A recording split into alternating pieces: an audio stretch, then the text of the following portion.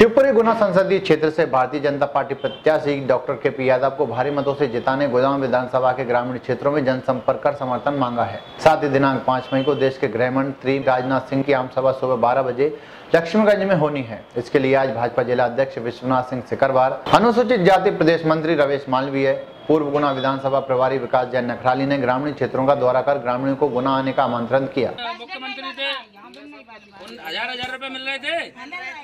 कब से बंद हुए? क्यों बंद हुए? कांग्रेस सरकार आई जब से। जब से बंद हो गए। चार महीने की। कोई चिंता करेंगे आपकी? देश में प्रधानमंत्री किसको बनाना है? मोदी जी ने दी गैस कनेक्शन आया तुम्हारे यहाँ गैस? गैस नहीं मिले आ- और आ जाएँगे नहीं मिले तो? नहीं मिले। वो बगल में आ जाए। कांग्रेस सरकार में अब पानी कहाँ से लाना पड़ रहा है आपको? मिट्टी में से।